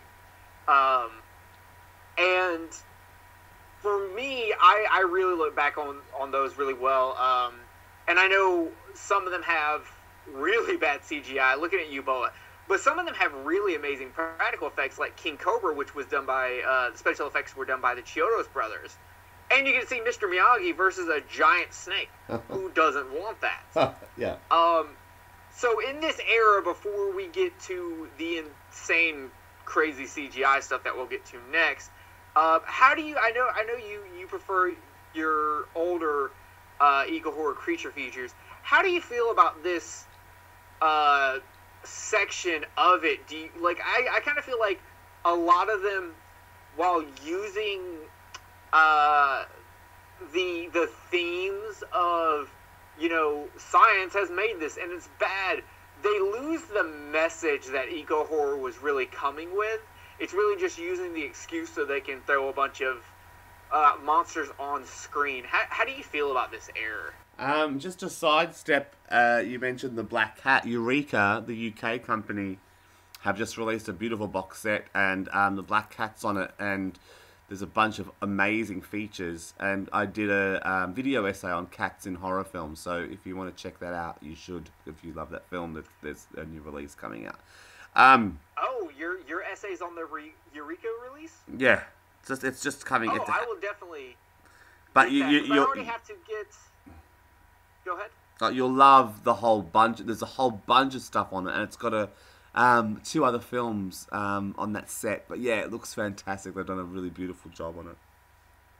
I will get that. I love my Scream Factory release. It has great commentary on it. But Mm-hmm. uh, Black Cat's one of those where I have to any movie that comes out, even if it has one special feature that's different, I have to own it. And I'm already going to order the Eureka um, double pack of the Toho science fiction classics, the H Man, and uh, I believe Battle from Outer Space. I'm really getting it for the H Man because I love the H Man. It has a great um, 60s uh, Japanese cop and mobster vibe to it while also dealing with this science fiction element. I absolutely adore that movie. I'm a big fan of Yakuza films, especially from the 70s. Uh, the Battles uh, Without Honor Humanity series is a huge favorite of mine. So I'm looking forward to that. Eureka, you're doing good work, especially since you got my, my man Lee on it. That's what I'm talking about. But now we we Yes. Um, away so to an- sidestep and step straight into it. Sure. So my my answer. So in the '90s, there's some really interesting works, especially in the early '90s. So if you look at even 1990 as a year, you have something like um, Shakma, which um, is terrific. It's what a wonderful concept. A baboon who kills role play, you know, role playing nerds. Fantastic. Uh, with Roddy McDowall. So and some beautiful special effects in that as well. Some great puppet work from the baboon. And I interviewed Christopher Atkins about it, and you know he shared some great stories. That interview's online, so um, look it up. Uh, but also, um, speaking of Christopher Atkins, he did something like Beaks, um, which is a killer bird film. In 1990, once again, you had something very mainstream.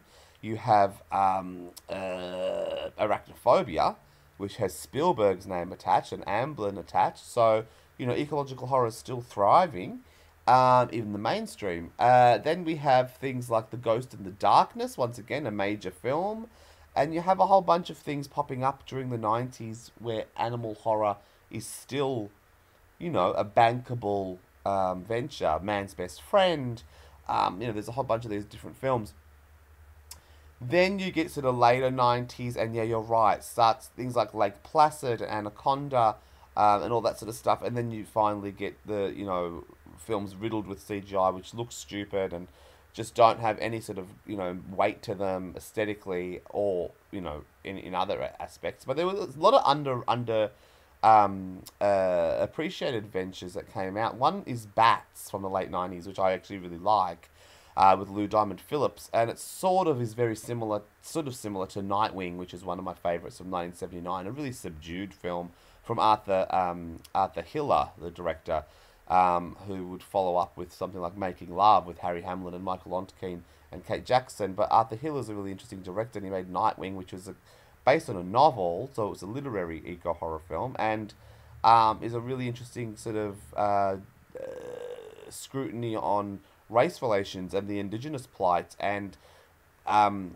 plays with really interesting tropes and has um, really sort of dynamic uh, interrelations between in varied indigenous characters, which is really amazing. It's great to watch because generally in American cinema during this, you know, that period in certain genres, there'd be the one indigenous person. This has like multiple indigenous characters. Of, of, of course, Nick Mancuso is an Italian and playing one, but there's all these different indigenous characters who interact and have different political points of view, which I really like. It's like, wow, they're complex and not just one note. It's really cool.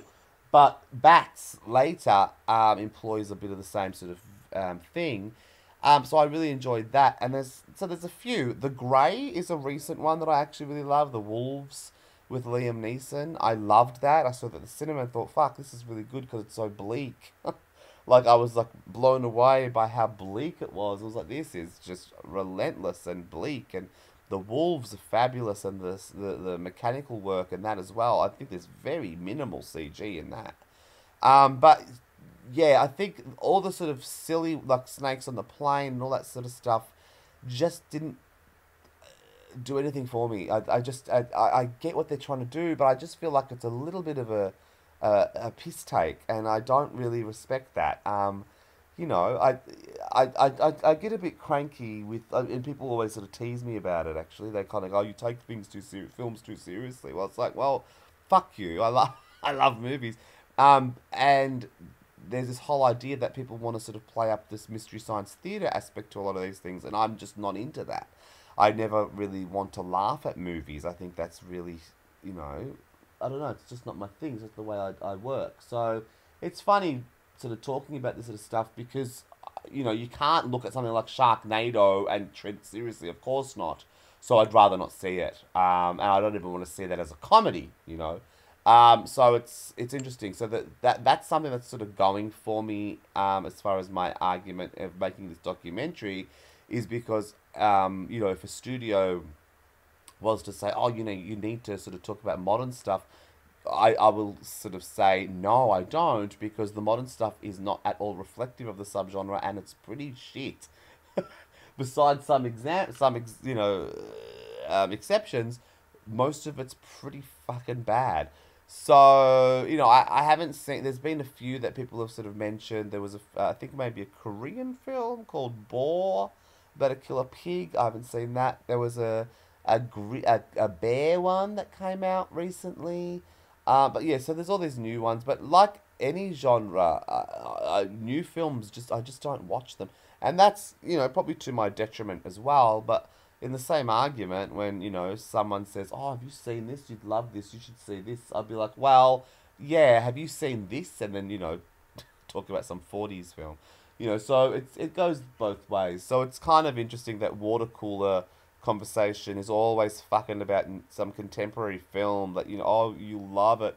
It's like mm, i don't know. I probably won't. Um you should watch this old errol flynn film you know. So it's eh, yeah i don't know. So to answer your question uh, there's some good in the night there's some great ones in the 90s um but after the late 90s when we're coming into the 2000s i really can't think of many besides Frozen and The Grey, they come to mind, and they're both wolves. Um, I can't think of many others. Sorry. Yeah, there's, uh, and I'm gonna point the blame to you, Shark Attack Three Megalon, uh, Megalodon, uh, you and Sharktopus. Which Sharktopus, let's just go ahead and say it. You ripped off an Italian film called Devilfish. Right. Let's not lie what you did. There. Which I love. I know what you did. I saw it. I'm on to you. um, So they kind of really set into motion what would eventually happen with Sharknado, which I, I absolutely do not like. I do not like these. Uh, I call them stupid creature features where they're played for commentary laughs. Just so outrageous. I don't like that. Uh, we are starting to see a nice turn that hopefully continues with movies like The Shallows, 47 Meters Down. Crawl was a fantastic um, movie that that came out. Mm-hmm. Um, so hopefully those serious um, creature features keep continuing. Uh, that that actually do fall into the eco horror subgenre, and we can kind of move away from the Sharknadoes and the uh, seven-headed shark attack and avalanche shark and shark priest and all this this bullshit that I, I really fucking hate. Um, I'm with you on that. I fucking hate it. I'm not anti CGI because that's just the way the world works now. But uh, if your CGI looks like it should be on a PlayStation 2 and it's 2000, it's it's above 2015, you shouldn't be fucking doing it. It just Yeah. it doesn't look good. The other thing I I'm want to sorry. Yeah, the other thing I want to add is you mentioned Devilfish, which is so fun. It's a great film. Um, these same people, I don't know if there are people who champion things like you know Sharknado and stuff. Maybe just for you know for a joke. But if they are actually seriously thinking these films are fun and great, they should go and watch a lot of these kind of European animal horror films because they're fucking nuts. If they were to watch something like Wild Beasts, they'd be blown away. Like that movie is crazy. That's the one where the animals get on PCP and they go crazy, and you have a polar bear going mad, and um, you know there's a whole bunch of animals in that movie that's just insane. And also even like a made-for-TV movie called um, Beasts Are on the Streets, which is where uh, there's a train um, accident um, and on the freeway, like a car accident in, in conjunction with a train. And all these circus animals come free. So you got like a scene with a, this ostrich causing havoc, and you know lions and bears fighting each other. Like it's crazy. So I think these people who sort of are watching this crap, these CGI riddled things, should go and watch these insane movies about animals attack. Like Roar, my God, from '81. Um, you know Tippi Hedren and Noel Marshall and Melanie Griffith. You know it's basically a snuff movie where lions are, you know, throwing humans around and there's blood everywhere and the blood's real and. You know, um, uh, Melanie Griffith gets pinned down by a lioness and she's just ripping out her hair.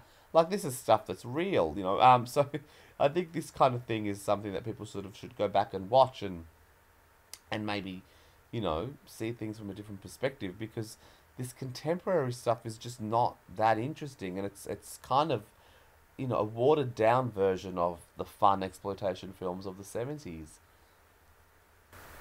Yeah, I, I, our message here is say no to Sharknado. Say yes to Up from the Depths. Yeah. If you want a bad creature feature for you to laugh, for you to, to riff, for you to just sit back and enjoy the silliness, at least go back to, to the 80s where there was practical effects.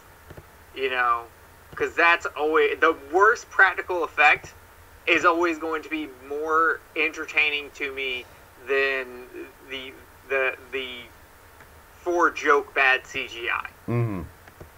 That's just how it is for me. Um, so you've mentioned a lot of eco horrors uh, throughout this entire uh, show, but I would like to have you recommend some eco horror for people who maybe want to now get into the genre. They've seen some stuff, but now they really want to like kind of see more out there. And I was hoping you could kind of recommend a wide array of, of eco horror, maybe even like one or two from each of the subgenres of eco horror that you were talking about earlier, Mhm. so that people kind of have a good starting point of where they should go to really see what this genre is about. Okay, cool. Um, uh, for the one about sort of human uh, extent, animal extension of human, um, and sort of psychological sort of connection to animal, there's a great film called Of Unknown Origin,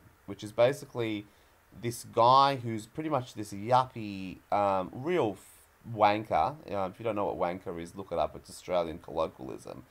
But, but he lives um, in this kind of a lush apartment, this building, and he's you know obsessive and about money and about commerce and about good things, and basically this rat is living in is living in his his place and taking over, and it's this war, um, and it's about his sort of emotional and mental um, breakdown as he's fighting this this rat. It's terrific.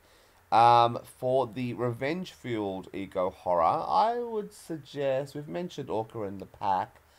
hmm. Actually, you know what? Yeah, I can't champion the pack anymore. Go the pack. Get people to watch the pack. I'm, I'm, I'm, and this is a really good ad for the pack. This whole con- this conversation.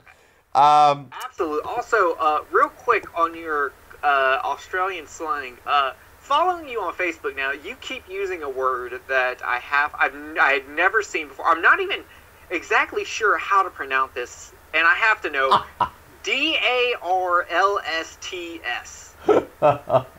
it's just What is it? It's just like I don't know. It's just Darls. It's like a darling or or sweet, or, you know, just mate or friend, I guess. Anyway, let's move on. Um, th- and that's not even an Australian thing. That's just me and my pals, my friends. Um, Okay. uh, what are we on? Uh,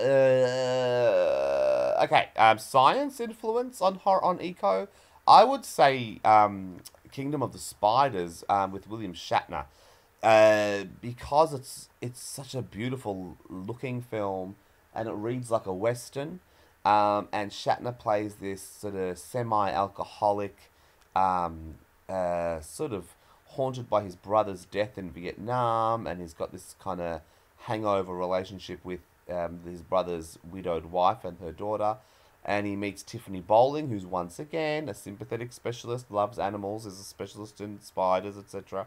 And they have this kind of interesting dynamic going on, and there's you know, uh, conversations about second wave feminism thrown in there, and alcoholism, and and environmentalism, and it's a really cool film, and it and it sort of is subtly um, uh, presenting the the use of pesticides. So it's not like you know endless fucking scenes of scientists talking about you know science. it's just it's what it is, and also it's a very bleak film. The ending is superb. Get that one.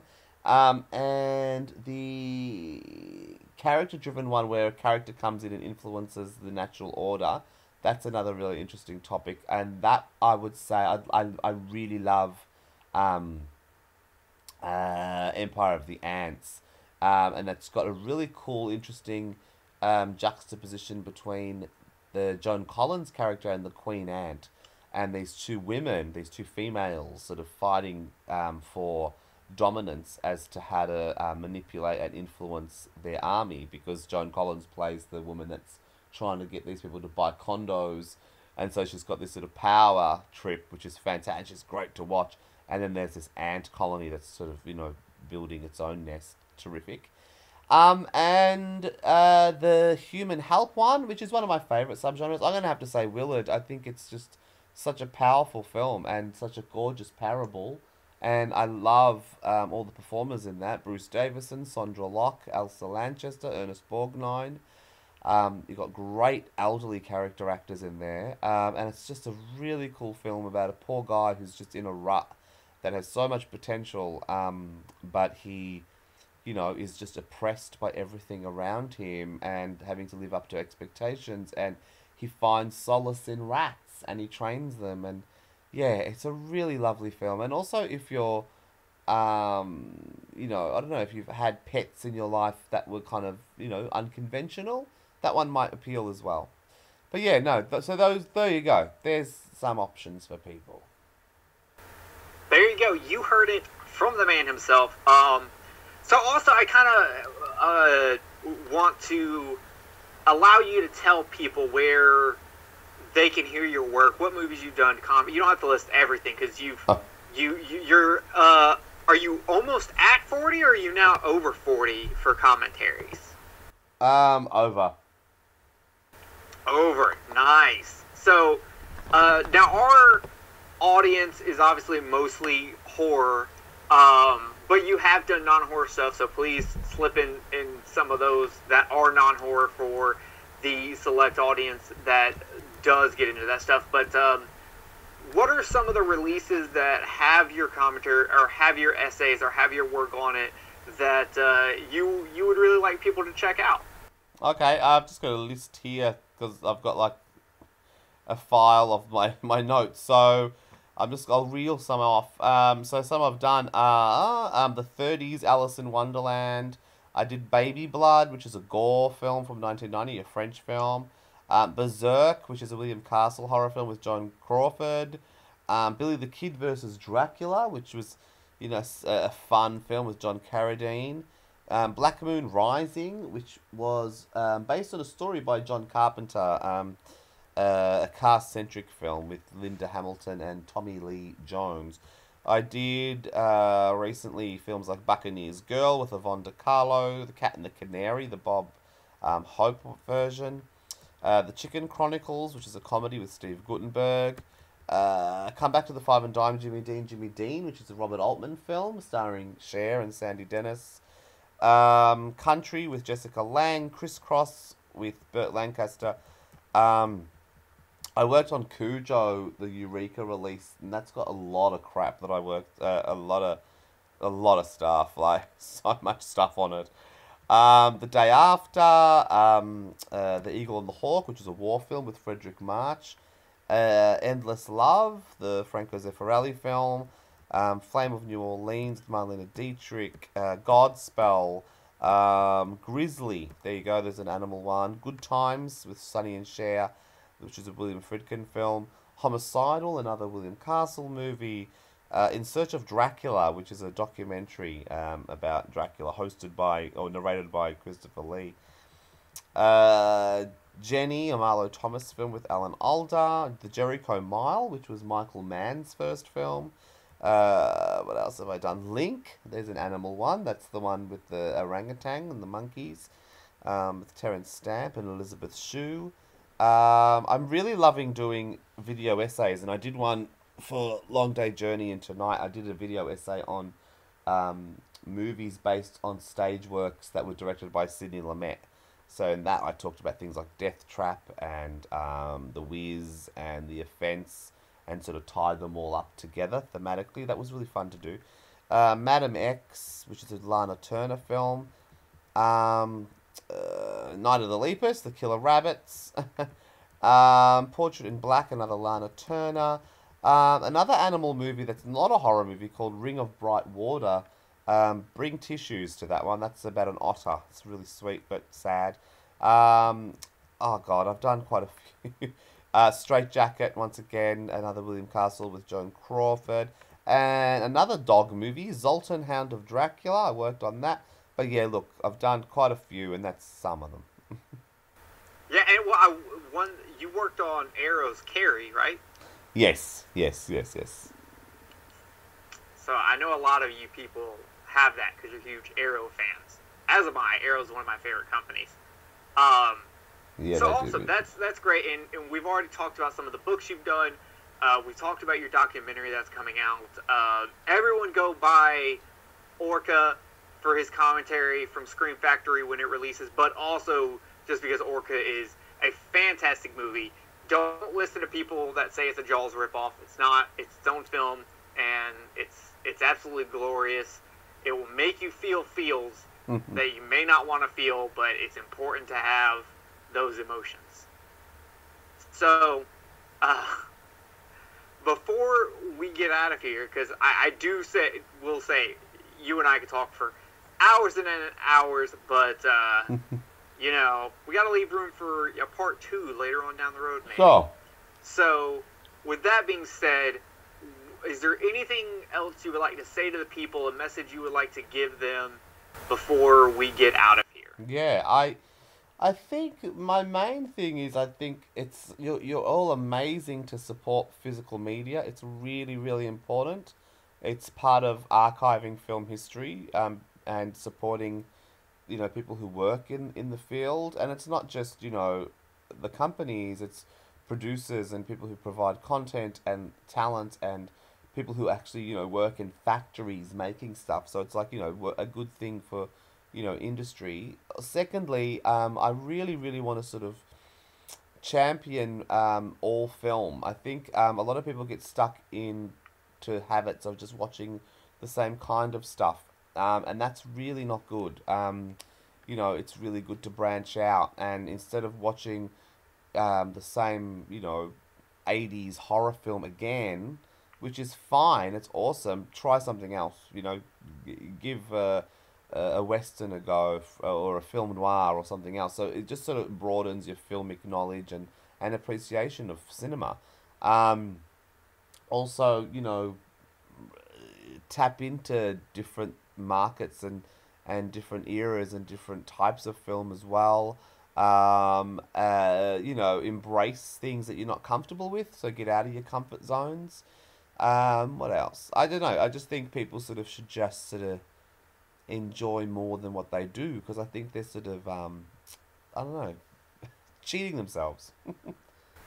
I agree. If you have not seen the Maltese Falcon, you should be watching the Maltese Falcon. It's one of the greatest movies ever made, and a lot of people have not watched it because you know it being a a, a much older black and white movie, you're really missing out. Well, There's that's ludicrous. So and so the thing is, with something like the Maltese Falcon, you've got all these wonderful connections. So one of my favorite things about that film, which is such an obvious film, I mean, that should be you should have seen that when you're four.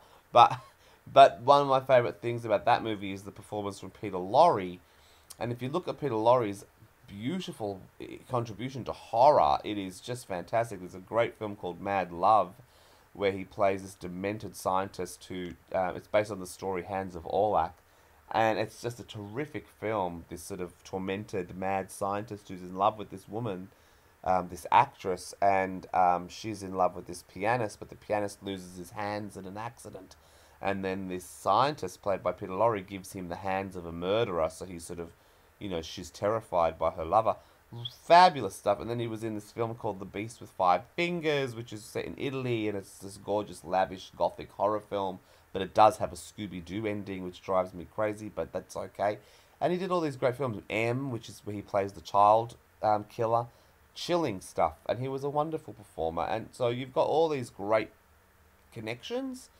Um, and if you're talking about Maltese Falcon, you've got to check out Bogey's work. And one of my favourite films of Bogey, Humphrey Bogart, is a western called Virginia City, where he plays an almost unrecognizable villain. He's got this weird mouthpiece, and he goes, you know, toe to toe with uh, Errol Flynn, and it's a terrific film, wonderful film. Uh, Miriam Hopkins is in that as well. And then you go, oh yeah, Miriam Hopkins, she was, you know, Champagne Ivy and Jekyll and Hyde, the fantastic pre-code Jekyll and Hyde with Fredric March, and so you know you've got all these just excellent things. I just think people need to, to branch out. It's cool to love Freddy, everyone. It's great to love fucking Jason. But there's other things. I completely agree. It's fine to stay. You know, everyone loves their comfort food, but every once in a while, you have to venture out. You have to eat something new. You have to at least check out this other stuff that's out there. Um, One of I my... know people give me hmm. what?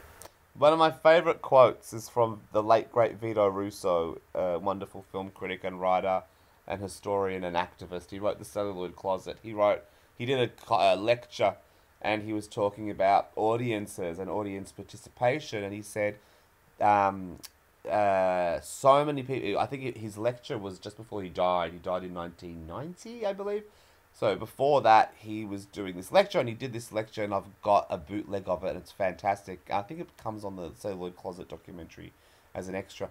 But it was just when Batman had come out, the Tim Burton, and he says something like, you know, uh, instead of people going to see, you know, this film, this film, or this film, they're going to see Batman again and again and again. Um, and he goes, um, there's nothing wrong with Disneyland. There's nothing wrong with experiencing Disneyland, but you'd be a fucking idiot if you wanted to live there. and I remember that oh quote, God, yes. and I really like that quote because it's basically like, yeah, it's fine to do to have that escapist, you know, blockbuster shit, that's great. It's fine. But you'd be an idiot if that's all you need or all you want because you're missing out. you know. Agreed. Also, Danny Elfman, you're not slick. You stole the, the theme song for Tim Burton's Batman from 1941's The Wolf Man. I know what you did. I saw it. Okay? You're not slick. Some of us know. Yeah, it's in there. Huh?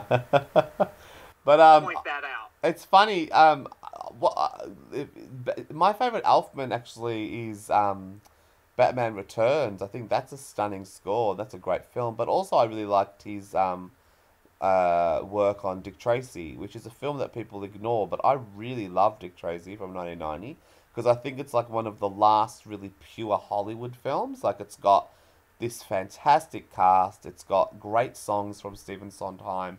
It's got the beautiful matte paintings. It's got these great makeup designs.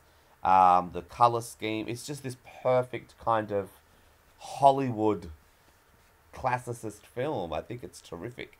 I don't know why I'm talking about Dick Tracy, but yeah, I, I just yeah. I I have a feeling that fans of this show really like Dick Tracy, to be honest.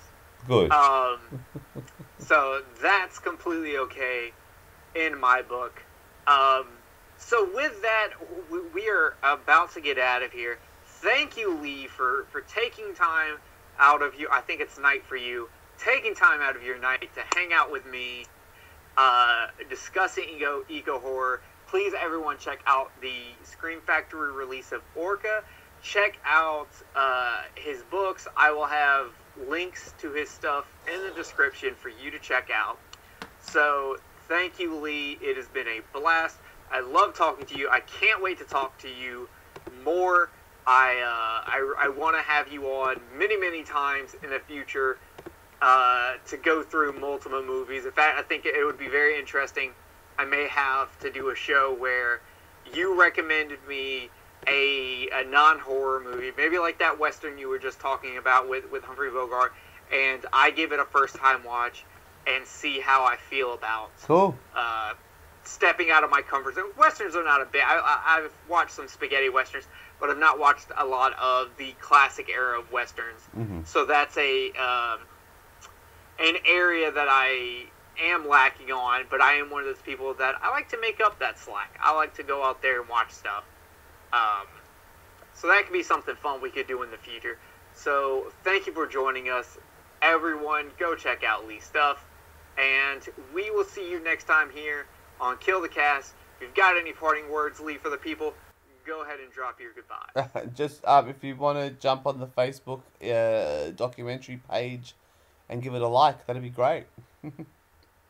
It will be in the description. Some of you have already done it because I shared it in the Kill the Cast Facebook group um, like a week or two ago. Some Mhm. of you have already done it. Uh, and I'm proud of you if you have done it already. But if you haven't and you're behind the curve, well, here's your chance. It'll be in the description. I'll even repost it when I, the day I post this episode, I'll repost it and Kill the Cast for all of you. Excellent. Thank you so much, Jerry. It's been absolute fun. I loved it. I enjoyed it. It was such a blast.